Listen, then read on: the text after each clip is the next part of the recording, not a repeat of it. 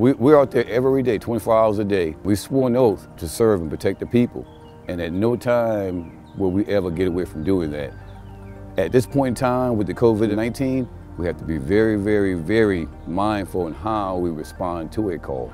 Most importantly, we're you know, reading everything from the CDC and DHEC about how we need to actually get out our cars and social distancing when we go to calls, how we always keep our hands clean as, as, as, as possible as we can. Yeah, we worry about, you know, the virus, but we're keeping on uh, working hard and trying to do right by our citizens. But most importantly, take care of ourselves because we can't serve if we're not in the right condition to serve. Our officers, men and women, are here placing their lives on the line every day to serve the people. So if anybody's out there trying to do some illegal acts or even trying to harm anybody in the city of North Charleston, NCPD, we're going to be there to be in the middle of that, to stop you and make sure our citizens don't have to worry about that because it's a quality of life issue. Taking care of our citizens, it is our job.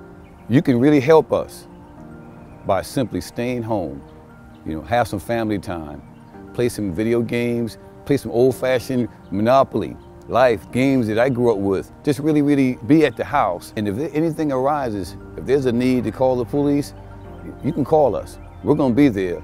But it really helps if less people are out in the streets and we can police a whole lot better. We'll do everything for you on the outside.